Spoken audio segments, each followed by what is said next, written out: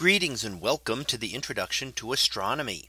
One of the things that I like to do in each of my introductory astronomy classes is to begin the class with the astronomy picture of the day from the NASA website that is apod.nasa.gov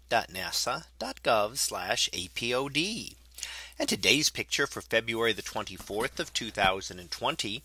Well, it is titled Moon Corona, Halo and Arcs over Manitoba.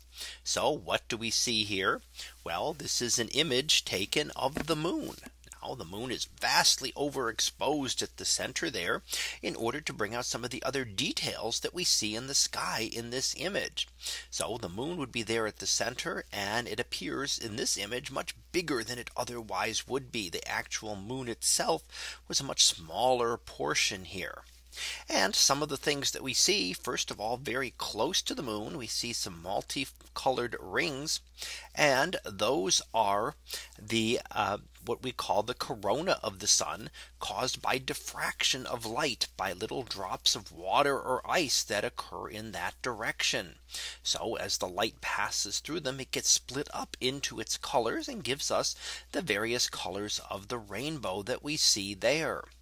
Now a little further out we see what is called the 22 degree halo around the edge here.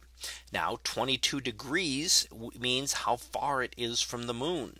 And this is one of the ways we can tell the moon is vastly overexposed. The moon is only about a half a degree in the sky, meaning that you should be able to fit 44 moons out there. And of course, you couldn't with the size of the moon in this image simply because it had to be overexposed in order to see everything else you wanted to see in the image.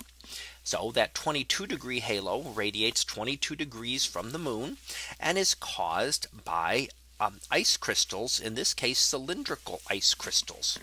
So that is caused to the around the halo around the uh, sorry the, the halo around the moon. And further to either side we see what are called the uh, moon dogs. And those are again caused by light refracting in this case through flat ice crystals. So flattened ice crystals in this in this case will give us the very specific moon dogs off to either side.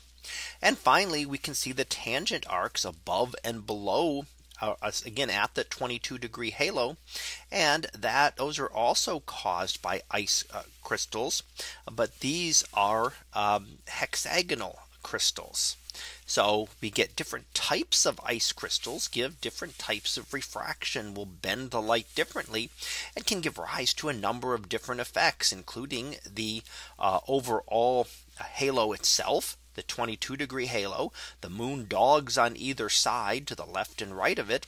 And then above and below we see the tangent arcs.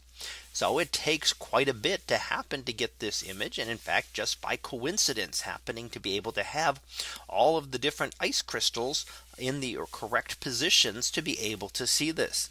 And as it is noted in the description, it didn't last very long. Within a few minutes, it had already disappeared and the sky had gone pretty much back to normal. So a matter of happening to have those crystals at the right time to be able to see the image of the moon with all of these other features around it. So that was our picture of the day for February the 24th of 2020. It was titled Moon Corona, Halo and Arcs over Manitoba. We'll be back again tomorrow for the next picture previewed to be Jupiter sized magnet. So we'll see what that is about tomorrow. And until then, have a great day, everyone. And I will see you in class.